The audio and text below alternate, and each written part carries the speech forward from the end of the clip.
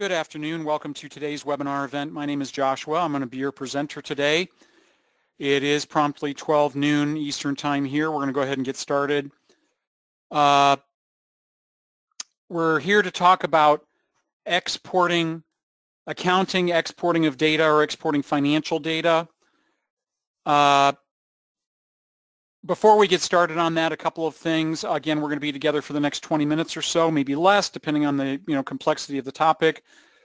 Um, I will promptly wrap things up at 12:20, no matter what, where we are, 20 minutes into the you know into the event. Uh, if you have questions, please type those into the questions portion of the webinar control panel. I'll do my best to keep an eye on those um, and see what I can't do to get those answered. Uh, folks, it's just me today, so um, I don't have anybody here answering questions for me. So I'll, I'll repeat the question for everyone's benefit, and I'll see what I can't do to get those answered. If you have, uh, please ask, I just ask that you do keep the questions topical, meaning on the exporting of the church windows or the accounting data here, under accounting data here that we're, uh, uh, that we're our topic at hand, essentially. Um, if you have other questions about something else, please contact support at 800-533-5227 or send us support questions to support at churchwindows.com. Um, and our techs will certainly be happy to answer that. Include your customer number if you know that, or at least your church name and address. Um, also, again, we are recording today's event. So as we do with all of our webinars, once we have this produced here in the next week or 10 days or so, we will put this out on our support center here. And it's taken a few seconds here to get to that. But once you get to our support center, the event will be here. You may already, there may already be an event on this same topic. You know, the same thing just done from a different earlier version. Frankly, this topic, folks, hasn't changed very much. Um, but in either case, this event will be out on this support center page at some point here, like I said, in the next week or 10 days. There's all kinds of information out there, okay? Um, please use that. It's the, the support center is just chock full of, of, of information. So, oh, and, and the, of course, this is all being taken from our A201 workbook today. Uh, you can get find the workbooks on our website at our workbooks page. You can order those. We do try to keep those, you know, in conjunction, these events with our workbooks as much as possible, kind of helps tie things all together for folks. Pages 28 to 32. Folks, there are lots of ways to export. You can export virtually every report from Church Windows Accounting, okay? We're not here to talk about exporting the reports. We're here to talk about actually exporting specific accounting data. Um, and how we find that is by going up to reports and export at the top and right here at the very top center. Let me get out my highlighter here, right here, the one labeled export, okay? That's what we're here to talk about. That's what these four pages are here to discuss.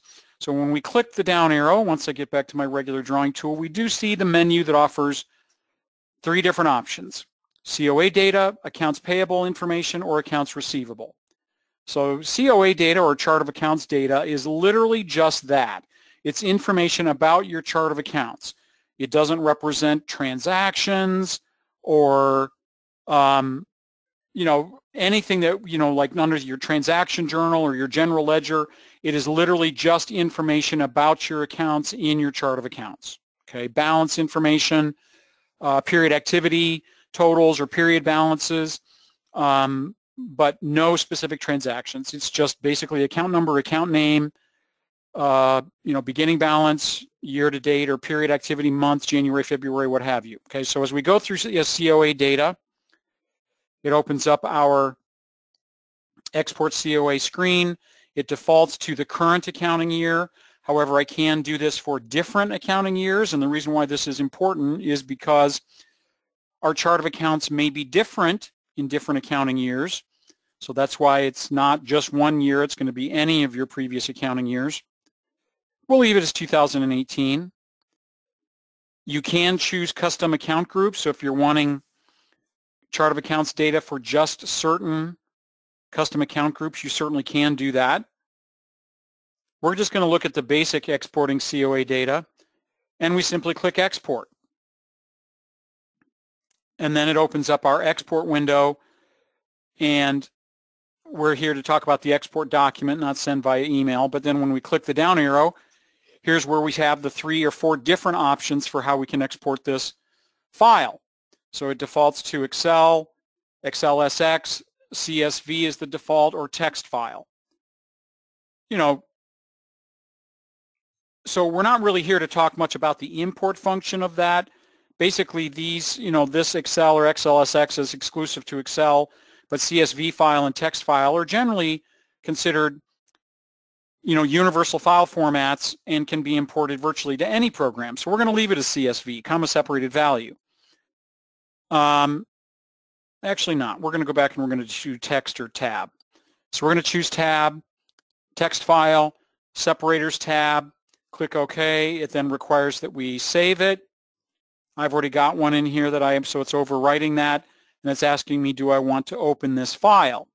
Now, if your computer has a default program set for CSV files, it will open in that. Commonly, it might be something like Excel.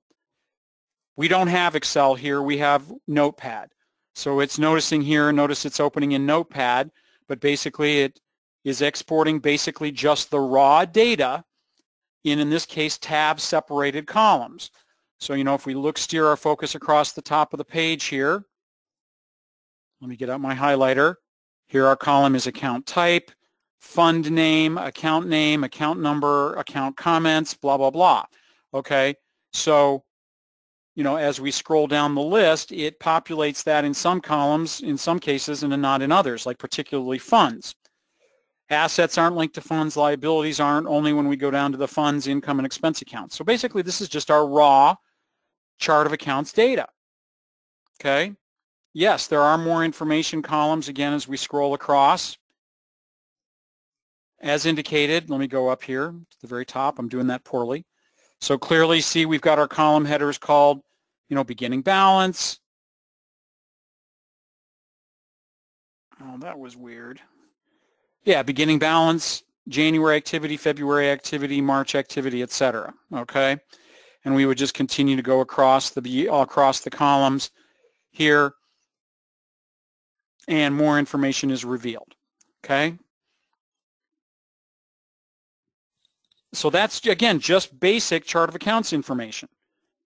Account name, account number, fund, account, you know, uh, period activity, beginning balance activity, comments, in this case account comments, what have you. Not terribly much to it. Okay. Next one is when we go to accounts payable. So accounts payable is going to be simply all of your vendors and payees that are listed under your accounts payable ledger account. So it does allow us to export information about a specific available vendor. Okay. So I can add multiple vendors to the list um, in this case, it just adds them. Notice here I can go down the list and add select vendors if I wish, okay? Or I can clear the selection and I can do export all. Again, notice here no columns or anything on the information here. It's basically just exporting all of the information that we have entered about each vendor. So once we click export all, again, it opens up a similar option. This time it does give us all of our traditional export options in addition to Excel or XLSX, CSV or text file. It does bring in things like HTML, PDF file, what have you. So same thing. I can go down here and go, okay, I want to import this into as a text file or a CSV file. Requires again that I save it. Again, it's the same file name, so it's going to allow me to overwrite it.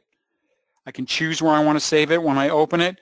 Again, it's the basic raw information that I have about each one of my vendors spread out across the screen horizontally. Okay, so right here I've got my payee name, address 1, address 2, city, state, zip, etc. across the screen. That once I scroll over, it'll bring in all of the vendor payee tab information. Um, tax ID, the date established if I have that. Expired, uh, assigned expense account number. Okay.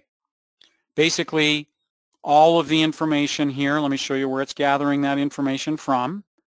Here under Manage Accounts, under our liabilities, and it's true for any liability, but basically any of my vendors right over here, the tab called vendor slash payee, right here, vendor plat payee. So whatever information is entered under this vendor payee tab, that's what it's exporting. Okay. Similarly, when we're talking about accounts payable or accounts receivable, excuse me, a ledger asset, again with different client accounts, again a client tab with name, address, city, state, phone number, information, email, tax ID, you know, default income account, what have you. When we go up to reports, export, and choose accounts receivable, I know some of you don't have that, but same thing, I can choose specific client information or export all. Again, exporting it in any variety of file formats. Actually, let's try, yeah, let's do CSV instead.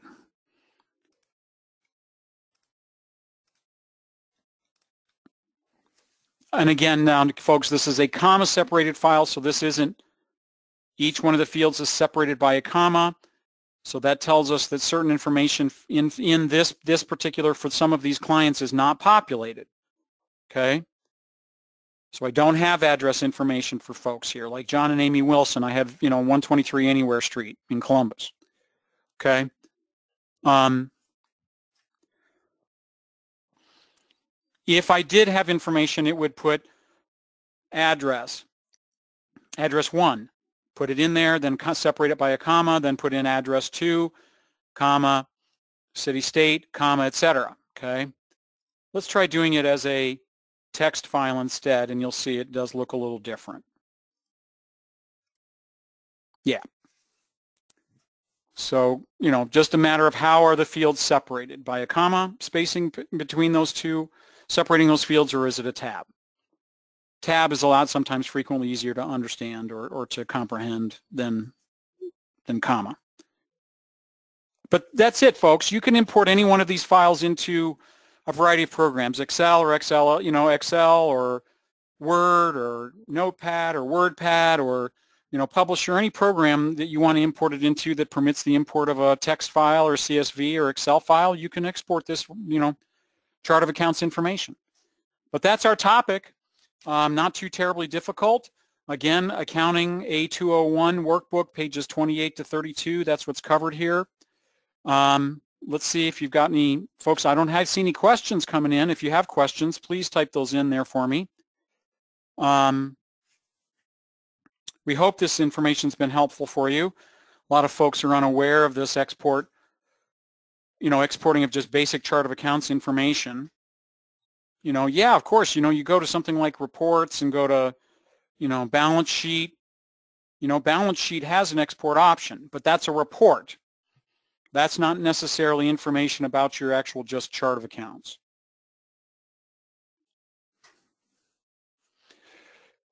Question being asked is, is there a way to choose which columns you want to export? Yeah, that's a great question. Unfortunately, no. Yeah, none of these windows have columns tabs or fields tabs on there. So yeah, it just, it's a default setting on that, Cynthia, and it exports the information that's in the system. Yeah, all of it. Good question. Unfortunately, no, it is, it's, it's, it, those are set.